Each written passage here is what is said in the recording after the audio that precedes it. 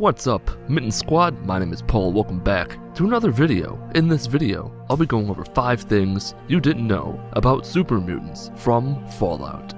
Number 5. Super mutants are mutated humans, products of infection by the forced evolutionary virus called FEV. They are much taller, bulkier, and muscular than pure strain humans and have mostly green, gray, or yellowish skin, and are immune to disease and radiation, and are gifted with superhuman strength and endurance. Although they are completely sterile, the rapid regeneration of their cells caused by FEV makes them virtually biologically immortal, but they are not immune to death from injury. Number 4. Speaking of FEV, FEV was part of the evolutionary experimentation program that took place inside Vault 87. The modified strain of FEV found in Vault 87 is the source behind super mutant behemoths. Since super mutants are, for all intents and purposes, immortal, they continue to grow bigger and bigger as they age, suggesting that super mutant behemoths are the oldest of the super mutants.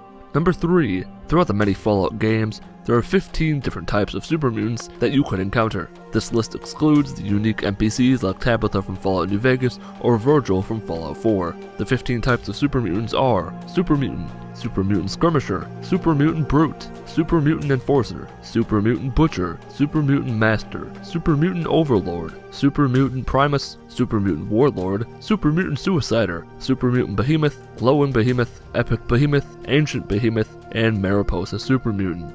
Number 2.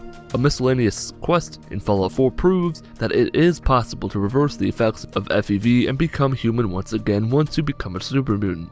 Brian Virgil was an Institute scientist who worked on FEV. After feeling guilty about injecting so many people with FEV, he injected himself with a unique strain of FEV and defected to a cave in the glowing sea. The sole survivor will eventually meet Virgil, who will tell the sole survivor about an experimental serum found inside the Institute. If the sole survivor retrieves the serum for Virgil, he can become human once again.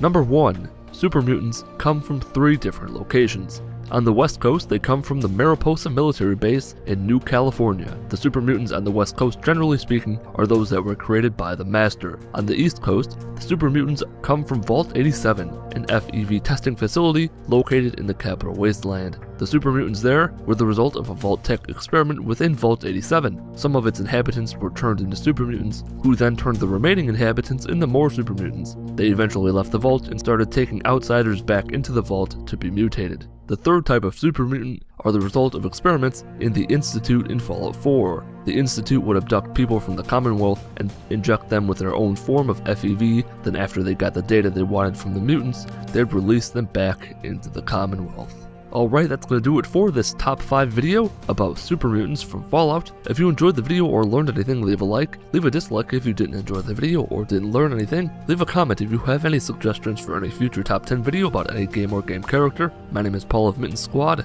Have a wonderful day.